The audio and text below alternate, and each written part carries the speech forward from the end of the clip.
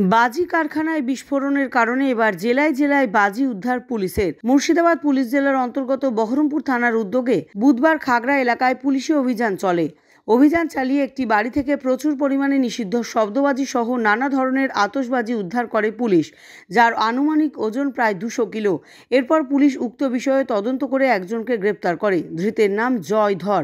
উদ্ধারকৃত সমস্ত বাজিগুলি সিজ করে পুলিশ।